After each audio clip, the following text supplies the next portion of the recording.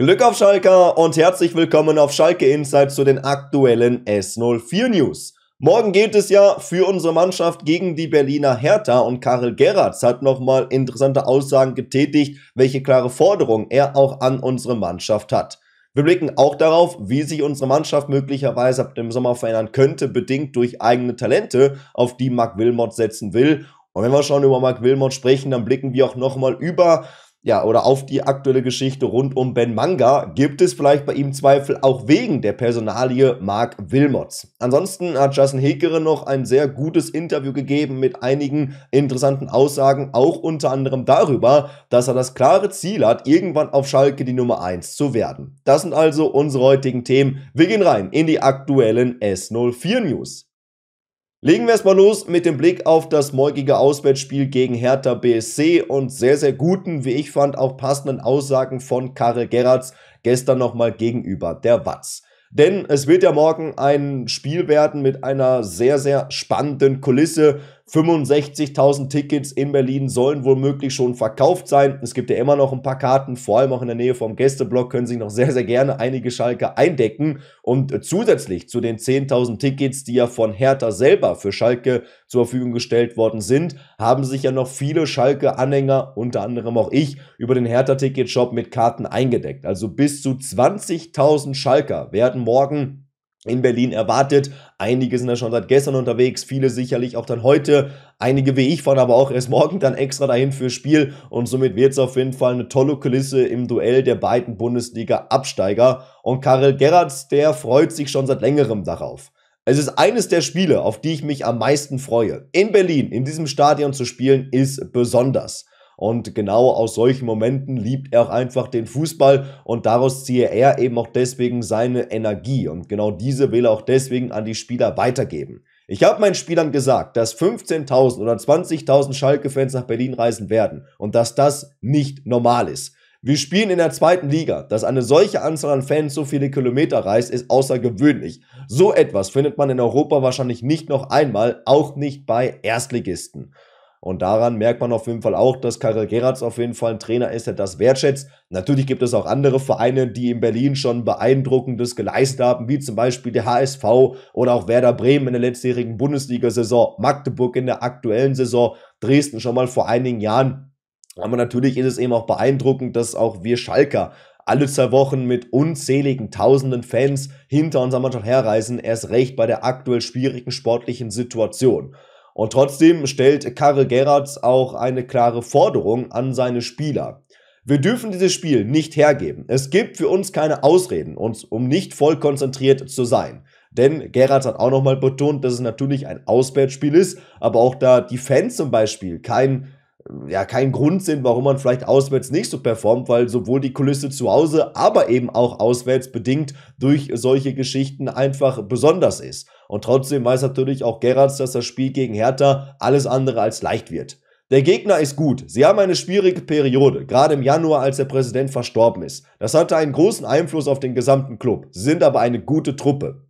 Und damit sollte auf jeden Fall schon mal klar sein, dass es natürlich auch morgen in Sachen Abstiegskampf ein wichtiges Duell werden wird. Denn gestern gab es ja schon ein wichtiges Ergebnis dafür, aber leider im negativen Sinne. Denn Eintracht Braunschweig konnte durchaus überraschend in Paderborn gestern gewinnen. Damit hat natürlich Paderborn zum einen verpasst, im Aufstiegskampf Druck zu machen. Braunschweig macht das aber jetzt auf uns. Denn damit beträgt der Vorsprung auf Platz 16 aktuell erstmal nur noch drei Punkte. Und natürlich spielt auch jetzt noch unsere Konkurrenz. Rostock spielt zu Hause gegen Fürth, Lautern spielt ja in Hannover, Wiesbaden beim HSV, Magdeburg beim KSC, die auch dann noch teilweise über uns stehen. Also es wird auf jeden Fall auch dahingehend ein sehr spannendes und wichtiges Wochenende sein. Natürlich auch dann aus Schalker Sicht morgen in Berlin zu liefern. Und wenn wir natürlich auch dann irgendwann den Klassenerhalt fix haben sollten, geht es auch darum, den Kader für die kommende Saison zu planen. Und da wird auch die Knappenschmiede wieder eine deutlich größere Rolle spielen. Vor allem Marc Wilmots kümmert sich seit dem Ende von André Hechelmann erst recht um die Schnittstelle zwischen U19 und Profimannschaft und hat das auch gegenüber der Watz nochmal ausführlich erklärt. Wir tauschen uns regelmäßig aus und sprechen über spannende Talente, denen wir den Sprung zu den Profis zutrauen. Wann immer es zeitlich passt, schaue ich mir das Training von Norbert Elgert an. Es ist wichtig, dass wir gemeinsam einem Strang ziehen für Schalke. Auch deswegen schaut sich Marc Wilmots heute das U19-Pokalspiel in Gelsenkirchen persönlich an, was ja dort für unsere knappen Spiele ansteht und reist danach erst nach Berlin. Auch das ist eben nochmal ein Ausdruck von der Wertschätzung, aber auch dem klaren Wilmots-Plan, dass die U19 und generell die knappen Spiele wieder eine deutlich größere Rolle einnimmt. Und auch der Knappenschmiede-Boss Matthias Schober hat nochmal betont, dass die Knappenschmiede grundsätzlich in einem ständigen Austausch mit dem Lizenzbereich sei. Wir sitzen wöchentlich zusammen und sprechen darüber, welche Spiele aus Sicht der Knappenschmiede für die kommende Saison interessant sind hat unser ehemaliger Keeper da nochmal erklärt. Und es herrscht auch beim Großteil der U19-Spielern grundsätzlich Klarheit darüber, wie es dann eben auch ab dem Sommer weitergehen wird, hat Schober auch nochmal erklärt. Natürlich kann jeder Spieler die verbleibenden Spiele in der 19 nutzen, um sich mit starken Leistungen einen möglichen Platz im Lizenzspielerkader oder dem der U23 der kommenden Saison zu erarbeiten. Denn vor allem auch Marc Wilmot hofft darauf, dass er mehreren Talenten einen möglichen Profivertrag geben kann. Denn er hat ja schon mehrmals betont, dass er diesen Weg auf Schalke auf jeden Fall auch gehen will. Denn auch für die kommende Saison ist auf jeden Fall ganz klar der Plan, mehrere Talente im Profikader zu haben. Sie werden nicht bloß altes Kader sein, damit wir sagen können, schaut her, wir haben Knappenschmiedespieler. Unser Ziel muss es sein, dass sie den etablierten Spielern Druck machen, dass sie sich für die erste Elf empfehlen. Und ich finde, dass das wirklich auch mal eine richtig gute und passende Aussage von Marc Wilmots ist, denn genau diese Herangehensweise brauchen wir auch einfach. Man muss auch dann mal den Mut haben, junge Spieler reinzuschmeißen und nicht nur irgendwie als dritte, vierte Option auf irgendeiner Position zu haben. Andere Zweitligisten machen es natürlich auch vor, wie zum Beispiel Nürnberg oder auch der kommende Gegner mit Hertha BSC. Natürlich birgt das auch ein gewisses Risiko, dass du dann vielleicht mal Leistungsschwankungen drin hast und es geht ja auch gar nicht darum, eine komplette Elf aus knappen Schmiedenspielern zu haben, aber dass die Durchlässigkeit einfach wieder deutlich erhöht wird. Einer hat das natürlich auch dann rein vertraglich gesehen schon mal geschafft mit Vitali Becker. Er hat ja im Trainingslager auch bei den Profis mittrainiert und hat eben auch dann jetzt einen Profivertrag bekommen und er darf sich logischerweise dann auch ab Sommer regelmäßig bei den Profis zeigen. Und auch Max Krüger als Mittelfeldspieler und Luca Pottlich als Torhüter stehen laut der Watz hier durchaus im Fokus. Denn beide spielen ihr letztes Jahr im Jugendbereich und bei beiden ist eben noch offen, wie es über den Sommer hinaus weitergeht. Portlich hat noch einen Vertrag bis 2025, den Schalke wohl auch gerne langfristig verlängern würde. Es ist aber noch nicht so wirklich klar, ob er zur kommenden Saison zum Profikader gehört. Und bei Krüger ist es nochmal offener, auch mit dem Plan Schalke eigentlich, aber sein Vertrag läuft eben sogar zum Saisonende aus. Und deswegen wird es wirklich spannend, wie Schalkes Weg dann tatsächlich mit den Talenten aussieht. Ich finde aber diese Aussage von Marc Wilmots lässt auf jeden Fall hoffen. Und ein Talent, was wir natürlich auch neben Luca Podlich noch im Tor haben, ist Justin Hilgeren, den wir ja nach unserem Bundesliga-Aufstieg 2022 von Oberhausen geholt haben. Dort war er ja in der Regionalliga West ein wirklich starker Keeper und da damals schon mit Anfang 20 gezeigt, dass er auf jeden Fall das Potenzial hat für mehr. Auch deswegen haben sich ja Ruven Schröder und Co. damals für Hekeren entschieden. Und er hat sich jetzt mal gegenüber der Rheinischen Post auch über seine ersten 18 Monate auf Schalke geäußert. Dass ich nach meinen Einsätzen direkt wieder rausgenommen wurde, war bitter. Aber ich bin erst 23 und habe da überhaupt keinen Stress. Mir wurden die Gründe genannt. Das musste ich akzeptieren. Hätte mir vor jemand gesagt, dass ich mit 23 zwei Profispiele in der Phoenix Arena gemacht habe, hätte ich ihm wohl eine Backpfeife gegeben. Ich bin glücklich, wie es gelaufen ist und dass ich meine ersten Erfahrungen sammeln durfte. Mein erster Traum ist in Erfüllung gegangen. Das nimmt mir auch erstmal keiner mehr hat Hekeren hier nochmal klar gemacht. Denn Hekeren kam ja auch in der Hinrunde für uns zum Einsatz in eben, wie er sagt, zwei Heimspielen. Das war ja der Fall gegen Hertha BSC, als Müller und Fährmann ausgefallen sind und auch dann kurzfristig gegen Elversberg, als er Fährmann kurz vor dem Spiel dann doch nicht mehr spielen konnte. Und somit war natürlich auch dann Hekeren zweimal gefordert. Natürlich waren das zwei Spiele, die wir als Mannschaft nicht gut bestritten haben, die man dann mit 1 zu 2 verloren hat. Das heißt, aktuell stehen in Hekerens Bilanz bei uns zwei Pflichtspiele, vier Gegentore und trotzdem ist er auf jeden Fall auch zufrieden mit seiner aktuellen Entwicklung. Er wird ja von einigen Schalke-Fans durchaus kritisch gesehen, weil er einige U23-Spiele drin hatte, wo er auch nicht immer ganz gut ausgesehen hat. Aber auch da hat er sich wirklich auch in der Hinrunde und auch in der vergangenen Rückrunde schon gesteigert. Und auch über Karel Gerrards kann Hekeren nur positiv reden. Wir hatten im Winter Einzelgespräche und kommen sehr gut klar. Er versteht schon Deutsch, fühlt sich aber mit Englisch noch sicherer. Aber das ist überhaupt kein Problem. Er ist ein angenehmer Typ, hat seine Vorstellungen und verkörpert die belgische Mentalität, was ich ja jetzt weiß. Er setzt auch viel auf Fitness. Schalke hat im Moment keine verletzten Spieler. Die Athletikabteilung macht einen guten Job. Es passt gut, man muss ihm ein bisschen Zeit geben. Ich bin sowieso ein Freund von Kontinuität. Und diese Aussagen von Hegeren wurden gegenüber der Rheinischen Post wohl vor ein paar Tagen geäußert, wo eben dann noch nicht klar war, dass auf einmal wieder Karaman, Soppi verletzungsbedingt möglicherweise beide raus sind. Aber natürlich hat grundsätzlich Hekerin auch recht damit, dass sich die verletzten Situation unter Gerrards auf jeden Fall entspannt hat. Hegeren hat sich auch dann im Winter zum Schritt in die zweite belgische Liga entschieden, zu Padro Eisten Maas Mechelen und ist dort auf jeden Fall unangefochtener Stammspieler. Hegeren stand ab sofort dort in der Startelf, hat bislang acht Spiele in der belgischen Zweitliga absolviert, sechs Gegentore kassiert und beeindruckende fünfmal sogar zu Null gespielt.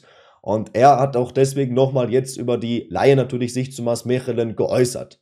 Ich habe Spielpraxis auf einem sehr, sehr guten Niveau. Das ist genau das, was alle Beteiligten wollten. Ich wusste nicht, dass die Qualität auf so einem hohen Level ist, auch wenn ich mir vorher ein paar Spiele angeguckt habe. Man kann es mit der unteren zweiten und oberen dritten Liga in Deutschland vergleichen. Es läuft sehr gut. Wir, haben, wir spielen oben mit, haben von sieben Spielen nur eins verloren und ich habe viermal zu null gespielt hat Hekeren hier nochmal gesagt. Also laut Transfermarkt hat er acht Spiele gemacht und fünfmal zu null gespielt. Er selber hat eben jetzt über sieben Spiele und viermal zu null gesprochen, aber auch das war möglicherweise deswegen der Fall, weil ihm das Interview vor dem Spiel aufgenommen wurde. Denn am gestrigen Tage hat eben Hekeren dann auch wieder gespielt. Das war sein achter Einsatz. Man hat 1 zu 0 gewinnen können. Also Hekeren zeigt dort auch wirklich gute Leistungen. Und deswegen hat er auch weiterhin klare Ziele, was seine Schalke-Zukunft angeht. Mein ganz klares Ziel ist es weiterhin, dass ich die Nummer 1 auf Schalke werden will. Ich glaube, das ist auch nicht so unrealistisch in Zukunft. Ich bin positiv gestimmt und versuche mich in Belgien weiter zu empfehlen. Der Torwarttrainer guckt jedes Spiel, wir telefonieren einmal pro Woche und der Sohn von Marc Wilmot spielt auch in der Liga. Der Kontakt zu Schalke ist also weiterhin eng. Nach dem Spiel gegen Paderborn war ich auch unten in der Kabine. Ich genieße die Zeit hier und dann schauen wir mal, was im Sommer kommt. Und ich bin auf jeden Fall sehr gespannt, was auch dann generell über den Sommer hinaus mit Hekeren passiert. Denn aktuell haben wir natürlich mit Marius Müller für mich auf jeden Fall eine klare, unangefochtene Nummer 1, auch im besten Falle für die nächsten zwei, drei Jahre.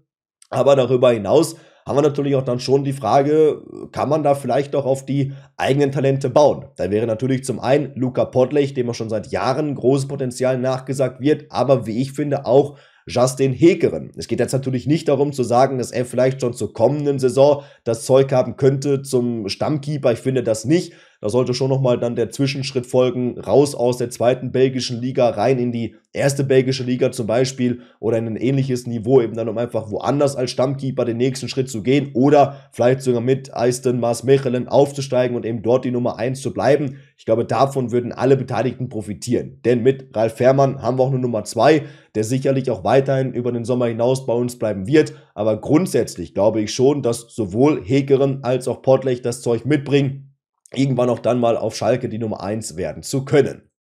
Und einer, der natürlich auch dann dafür verantwortlich sein wird, über den Sommer hinaus mit Hekeren zu planen, wird sehr wahrscheinlich Ben Manga sein. Die ganze Geschichte ist noch nicht offiziell. Ich bin mir auch zu 99% sicher, dass sie, wenn es offiziell werden sollte, dass das nicht vor dem Hertha-Spiel passiert, sondern eben dann, wenn in der kommenden Woche. Und trotzdem gibt es ja noch so ein paar Zweifel aufgrund der ganzen Geschichte, auch wenn natürlich jetzt zum Beispiel Sky gestern berichtet hat, dass es schon auf einem sehr, sehr guten Weg ist. Und trotzdem gibt es noch so ein paar Dinge, über die man diskutieren kann.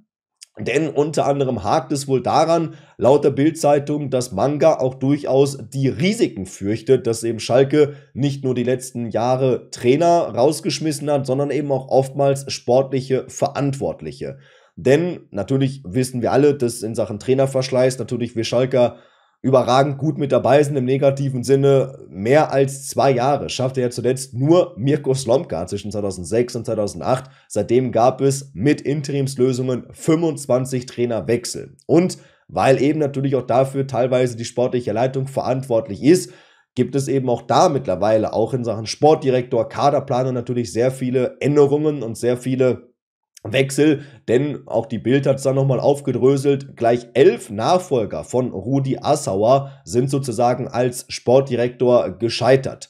Und das alles weiß natürlich auch Manga, dass wenn man entweder die hohen Ansprüche nicht erfüllt, relativ schnell gehen muss oder wer vielleicht auch beim Aufsichtsrat aneckt oder zum Beispiel auch, wie Ruven Schröder vielleicht mehr machen will und dann auf der anderen Seite aber auch durch viele Arbeit ausbrennt, geht dann vielleicht sogar freiwillig und natürlich weiß sowas auch Ben Manga. Aber laut der Bild-Zeitung weiß er eben auch, dass Schalke für ihn selber eine große Chance sein kann. Denn wenn er es eben schafft, Schalke wieder zum Leben zu erwecken, dann kriegt das in Deutschland jeder mit. Dann ist das natürlich auch für ihn ein ganz klarer Karrierebooster. Man kann das vielleicht auch, finde ich, ähnlich sagen zu Ruven Schröder, weil auch der wurde vor seiner Schalke-Zeit sehr, sehr kritisch gesehen. Ich glaube nicht, dass er damals bei Leipzig einen Job bekommen hätte und durch seine Schalke-Zeit, die ja vor allem auch im Aufstiegsjahr sehr erfolgreich war, hat er eben auch dann einen solch besseren Job bekommen. Und deswegen prüft Manga eben aktuell noch laut der Bildzeitung, ob er die Ansprüche mit dem ihm angebotenen Rahmenbedingungen auch erfüllen kann. Sprich, für ihn ist es einfach wichtig, und es wurde auch gestern schon betont, dass er ein eigenes Scouting-Team mitbringen kann. Das ist für ihn eine ganz wichtige Voraussetzung und trotzdem gibt es auch Zweifel bedingt durch Mark Wilmots. Denn auch da ist natürlich Wilmots nochmal ein ganz anderer Typ, der natürlich auch eine etwas schroffere Art und Weise hat, der vorne weggeht, der seine Prinzipien hat. Und natürlich muss auch Ben Manga dann dazu passen oder anders gesagt, muss Ben Manga eben das auch wollen. Und diese Beantwortung der Fragen kann natürlich auch dann für Ben Manga ein paar Tage dauern. Und deswegen scheint es eben so zu sein, dass sich die Entscheidung noch ein paar Tage hinziehen könnte, aber sicherlich auch dann in der nächsten Woche eine Entscheidung fallen wird.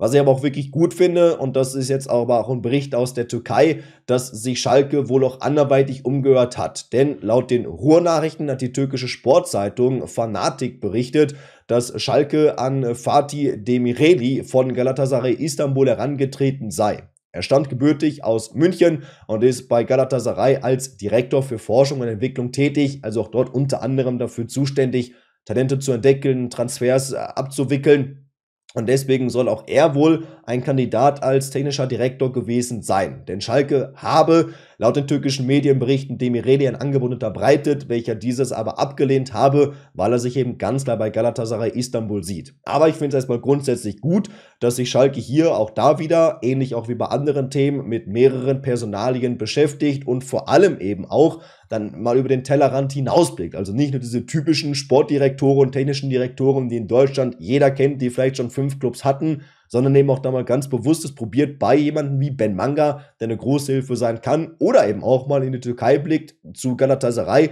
Auch das finde ich ist ein Blick, der sich auch durchaus mal lohnen kann. Also wirklich eine interessante Suche hier. Ben Manga ist und bleibt natürlich aber auch der klare Favorit. Schalke will ihn gerne haben. Es gibt noch letzte Zweifel, aber grundsätzlich sieht es auf jeden Fall ganz gut aus.